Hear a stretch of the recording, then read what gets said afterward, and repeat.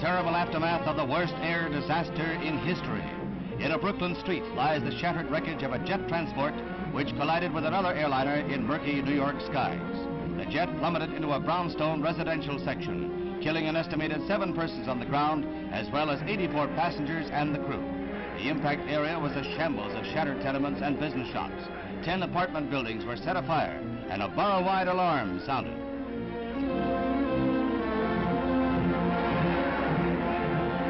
Both planes were stacked up in landing patterns, both arriving from the west. One to land at Idlewild, the other bound for LaGuardia Field.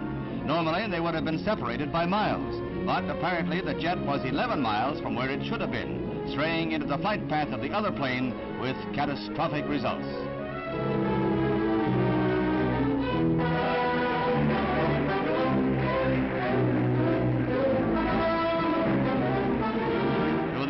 Havoc in Brooklyn, the crash of the other plane on Staten Island adds another bitter toll. Here, too, all aboard the ill-fated plane perished. 44 lives lost. Casualties on the ground were mercifully light.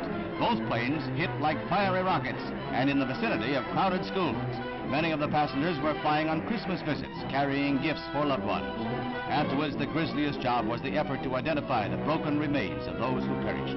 Horror added to horror, shockingly emphasizing to the nation the terrible consequences of the aerial traffic jam in America's skies.